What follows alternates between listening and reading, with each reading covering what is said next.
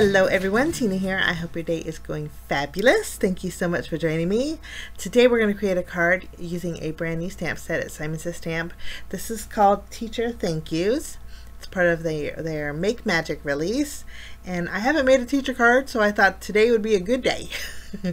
um, there's a few images in here. There's an apple says thank you. There's a smaller solid apple, but the A plus kind of caught my eye and I thought we would do some masking with it.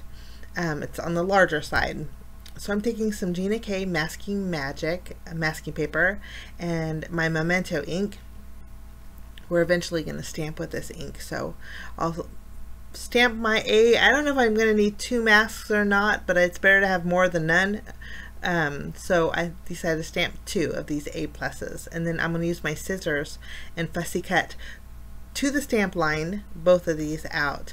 Now the A the center of the A is um, solid. Now you want to cut those out. But this is so easy to do, guys. Just cut through it.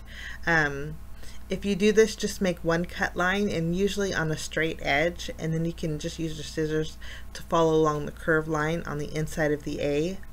And um, when you place this mask over your stamped A+, plus, you can't even tell that that line is there. As long as it's a straight line, you can see here. I'll do the same thing to my next one. Just draw a straight cut line and then follow along the curve and then we have an A plus um, mask.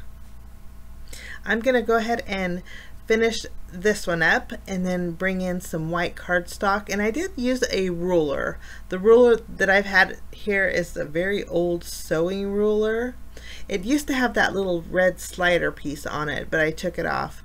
Um, they used to come in sewing kits quite a while back, but I like these rulers for my craft desk. I'm going to go ahead and stamp my first A right above it.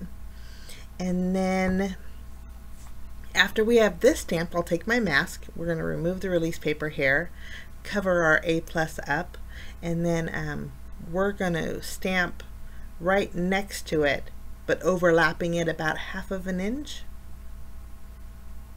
We'll just add this over our existing A. Maybe a quarter inch is, is better. But we'll line it up, stamp it one more time. I want four A pluses in a row. So after I have my second one stamped, I'm going to pick up my mask and then we'll lay it over the one that we just stamped. I haven't did this in a while. I forgot how fun this was.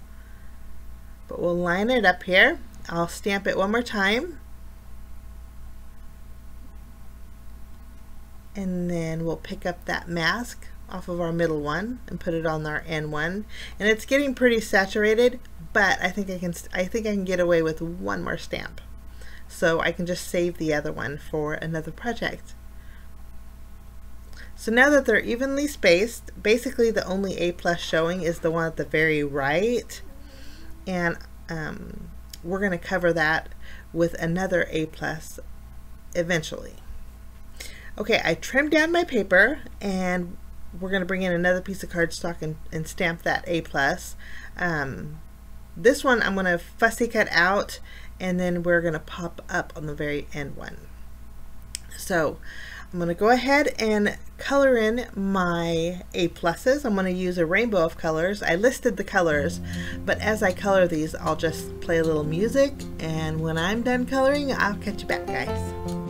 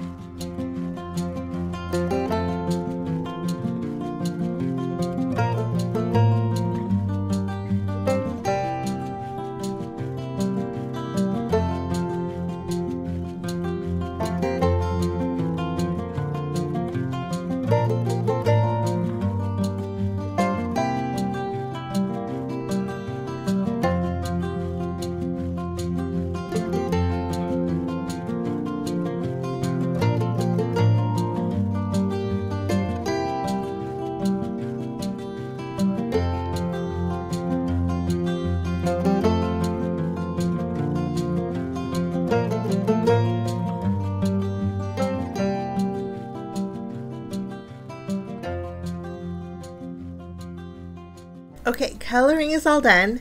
Now you can see I did use my lightest red marker and went over the first A, only because if you look at that card at an angle, I wanted you to be seeing something more than white. I fussy cut out my A plus and you know what, I'm not sure if this stamp set does have a coordinating die set. Um, if it did, it would just cut out three things, the A and then the two apples. Um, maybe the teacher here. I'll list it below if they do have one. I'm going to go ahead and take the teacher sentiment and I'm going to place it right above my A pluses. I'm going to use my MISTI for this in case I need to double stamp. Um, and I'm just going to stamp with my VersaFine Onyx Black ink. Um, we'll tack that down here with some with our tape runner. Okay, I'm going to go ahead and grab my VersaFine Onyx Black ink and I'm going to I love the font of this. It's just a block font, lowercase letters, but completely reminds me of um, elementary school. That's stamped and while I'm still at it and have my MISTI out, I'm going to take some black cardstock and stamp a secondary sentiment. This one says, we are so grateful for you. I'll treat my paper with my anti-static powder tool and then ink it up with my Versamark ink. I thought we'd heat emboss with some white embossing powder just so it stands out. We'll go over this and then I'll use my heat gun and we'll melt the embossing powder and then I'll go ahead and use my paper trimmer and block this off so the secondary sentiment's ready to go. Okay, I'm gonna go ahead and grab my card base. I'm using some cardstock. This I believe is a Hero Hue card. It's very heavyweight. Love the Hero Arts cardstock. I'm gonna go ahead and score at the five and a half inch mark and then um, that will be our card base. I'm going to go ahead and I'm going to trim down my teacher panel a little bit more. I keep trimming it smaller and smaller. Um, I guess that's the best thing about stamping with a larger piece of paper. We're going to add this just so it's a little bit shorter. I wanted to use one of the apples in the stamp set and do some tone on tone and so I wanted it to show so I think my borders need to be a little bit bigger. Okay, I'm going to mask off at the seam here. We're going to make a portrait or landscape style card. I'm going to grab that apple. One of the apples says thanks. I just stamped the smaller apple all around the outside of my red cardstock with Versamark ink. So we have that watermark ink all around our um, card front. Next, I'm going to take some white cardstock. The cardstock for the inside of the card, I'm just using some inexpensive um, cardstock that I use for my um, my filing. I just trimmed it down to fit on the inside. I thought the red was just a little bit too dark. And then I had my little apple. I thought let's just grab some green ink and stamp an apple on the inside too. Make the inside just as special. We'll just stamp one in the little corner here.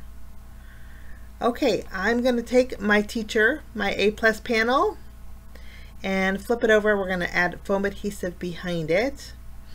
And then we'll remove the release paper and this is going to go in the center of our card here. And when I trimmed it down, I didn't trim it down square, so the bottom will be a little bit thicker than the top. But that's okay, I think I can get away with this. After we have our A plus panel adhered, we're going to take our A plus and pop it up with some small foam squares. This is going to go over the existing A that's on our panel. And then I did just use my tape runner and add my We Are So Grateful for You right across the A's there. And I didn't pop that up, I just glued that down to the top of it. Now for bells and whistles, I wanted to make that A extra special, so I'm using my Glossy Accents. Glossy Accents is slightly thicker than my Journey Glaze. So I used this and then I'm going to do that little glitter trick because I love the way this looks. I'm bringing in some of that chunky iridescent glitter. This one happens to be from Studio Katia. I have several different kinds. I know Fun Stamper's Journey has some and also um, I think Avery Elle has some too.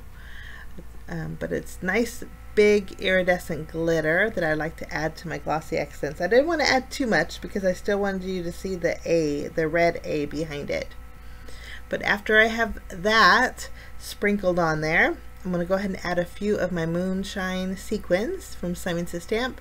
And then that finishes off my card for today, guys, using one of the brand new stamp sets from the Make Magic release over at Simon Says Stamp. I hope you enjoyed this project, and if you like to see still shots, um, go ahead and visit my blog. I take individual pictures over there. But thanks so much for joining me. Have a lovely day. We will see you again real soon. Bye-bye.